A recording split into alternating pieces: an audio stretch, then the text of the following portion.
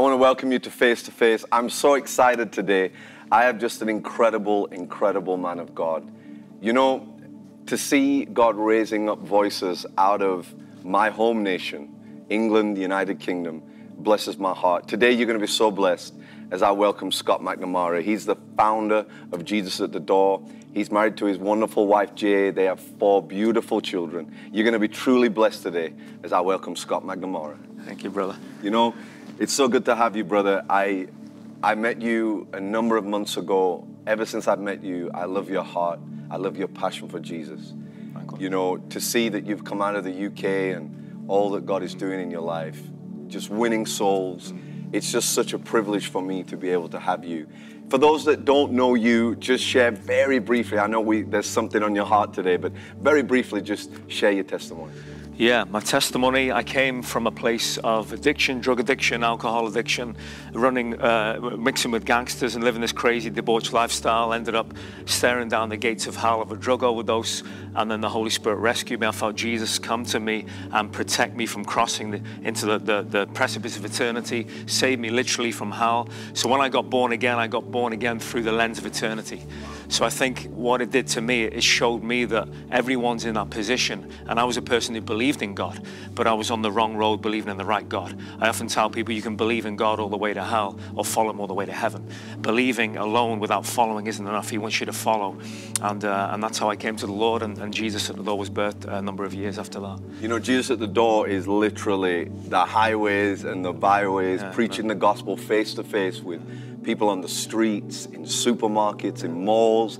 It's just incredible. You know, I remember when the Lord called me, and that call was something that it's not a job. It's I always say if you cut me open, the call of God, that's what I am. I live and breathe to, to serve the Lord and to answer that which He has given to me. And I remember in Luke chapter 5 when Jesus comes to Peter and mm. he says, he says, Can I use your boat? Yeah. You know, I preach a message called The Deep Cries Out. And, you know, at that moment, Peter was going to step into a place of destiny. Yeah.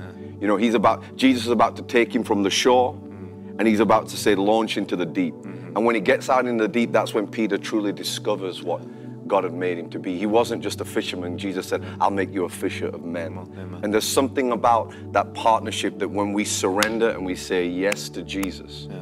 that it releases that eternal purpose in our lives. Yeah talk to us, share what's on your heart today. Yeah, I, uh, the Lord really marked me with this. I mean, just as a precursor, I'll share. You know, when I when I began as an evangelist, I was um, thrust into a, a, position of a street guy, uh, employed by a church to stand five days a week on a street and pray for people.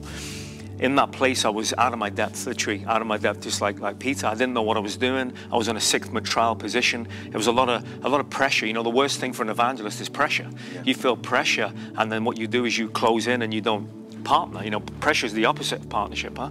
So um, what I did, I stepped onto those streets. The Holy Spirit spoke to me. Said, Scott, relax. Look at all the people around this town. Imagine they are like apples on a tree.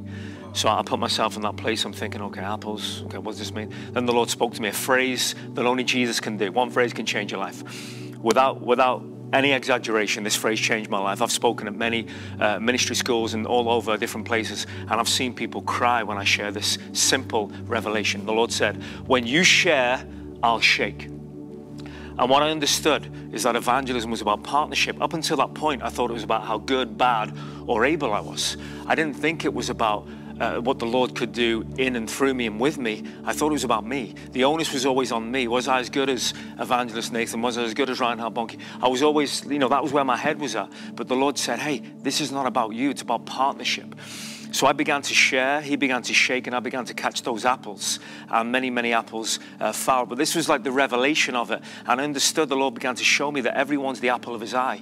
You know, Deuteronomy 32.10, Zechariah 2.8, Psalm 17.8, many scriptures that allude to us being the apple of his eye, yeah. that most precious one. And the Lord began to give me this revelation of, of apples. You know, when apples fall and nobody's there to catch them, what happens? They die, they rot. Mm-hmm. Now we have a problem right now in the world is that you know there's apples that are ready to fall, and as Jesus' people, we should be the hands willing to catch them. You know, we can raise our hands in the service, but what about after the service? Are we willing to go and raise our hands in those apple orchards that the Lord's positioned us under to catch the falling apples? And if we don't catch them, they'll either die or fall into the wrong hands. And the Lord began to show me, you know, through John 6 44, Jesus said, No one can come unless the Father draws them. So all we've got to do is lock in with the Spirit and, you know, the, the Father through the power of the Spirit shaking the trees every day. And we've got to be willing to catch. So that was kind of like the, the revelation moment. And then Luke 5 was a, a big moment for me because, you know, when Peter went into that place, um, you know, when Jesus said, go and fish. Now we know Peter had been fishing all night. He had a futile fishing expedition. He'd been there the whole night, didn't catch one fish. We all know the story. So Jesus comes to this expert, seasoned fisherman, says, go and do it again. And Peter's like, Well, I've done it all night, Lord. You know, what would be different? Peter and Jesus said, Go and do it again. So he obeys uh, the, the call. Now, what happened? Because he went in partnership, it produced power. And I believe that evangelism is about partnership, and partnership will bring power. If we bring the partnership, he'll bring the power, which means anybody can do it, which means it's open to anybody. So Peter goes in partnership, not knowing what was going on cast those nets, and everything changed. The first time he went alone, the second time he went in partnership. That is the deciding factor of fruitfulness. You know, the process was the same, but the power had changed. Wow. Why? Because Jesus was partnering now with that individual, and that's all we've got to do, you know? You know, I. I'm reminded, you know, I preach a message on this exact scripture. It's been a message that burned in my heart. And I, I always put it like this, you know, Jesus comes, he's in the crowd, mm. and he separates Peter he said, Can I use your boat? You see, yeah. sometimes we just see a boat, but yeah. Jesus is about to preach from Peter's boat Amen. to the crowd. Oh, see, we might see a boat, but Jesus sees a platform. And when we come into partnership, well, we think, well, Lord, I've only got this. You just see a boat. Mm. Jesus sees a platform. Yeah. I want you to share with those that are watching right now that, you know, some of the things that have happened is you've just said, Lord, you can use my boat. Yeah those moments where you've gone into the street, into a mall. You know, I see it every week at Nations, you know, when I'm in town and I, I go to Nations Church I see you testify of you're baptizing people on a. Sunday morning because of someone that you met in the mall that week. Just share. I know people want to hear what God is doing. Yeah, yeah. Well, I mean, I'll give you a, a, recent testimony. I was with my team. We go out, you know, into the to the marketplace, to Walmart, to wherever, to find those apples. And we were out there, and I was training uh, uh, one of our team, and I saw this lady, and um, I, I, approached her, began to share with her, just you know, real simply through our Jesus at the door model. It just takes a couple of minutes. Um, and let me say this real quick. I, I just felt the Lord give me this revelation yesterday, you know, when I was praying about coming here. But, you know, in, in, the book of John, we read when the fishermen went fishing again, and Jesus said, Let your fish, let your nets down the right side. And I was just, the, the Holy Spirit began to speak to me, you know, that right side, letting the, the, letting the nets on the right side, what was the, it was like a technique, but it wasn't. It was just because it was spoken out the word of God, out the mouth of God casting the nets on the right. Were all the fish gathered on the right side? Was that a technique? No. It was just because God spoke it. And when God speaks it, it happens. And I feel with Jesus at the door, it's exactly what it is. Is it? It could be this way, it could be that way, but it is the way it is because God spoke it. And for some, it don't make any sense that I cast on the right side. It's foolishness. But when God's in it, it makes sense, you know. Making mud and spitting on it and putting it on people's eyes. Was the mud holy? Did, the, did Jesus need the mud? No, he didn't. But Jesus did things in the way that he wanted to do them because it came from him, it was anointed. And I really feel that that is what the, the Lord has stamped it uh, with that, you know. You know, we, we just have a few more minutes, but I want to share with people this is a tool that God has given you that he's using just in a mighty way yeah. to, to cause people that maybe, you know, they don't preach and they don't feel like they're, you know, in ministry, but yeah. God has called us all to be soul winners, right?